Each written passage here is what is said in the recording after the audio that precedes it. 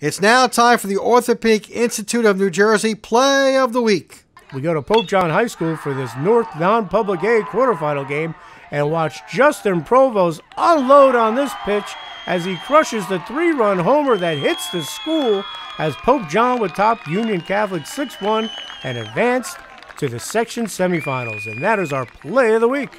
The Orthopedic Institute of New Jersey, with locations in Sussex, Morris, Union, Warren, and Pike County, Pennsylvania, is a proud sponsor of the Play of the Week.